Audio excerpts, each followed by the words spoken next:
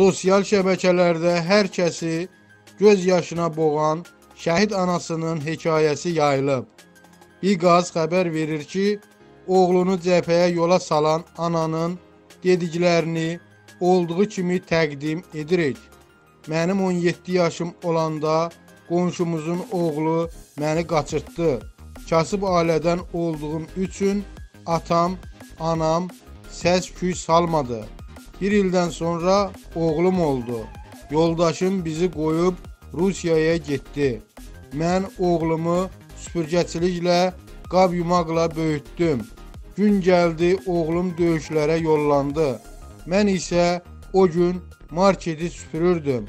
Qaçaraq özümü oğlumun getdiyi avtobusa çatdırdım.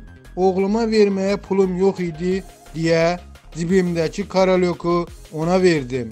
Şəhid olandan sonra oğlumun əşyalarını mənə verəndə çantasından qaralmış bir karalyok çıxdı.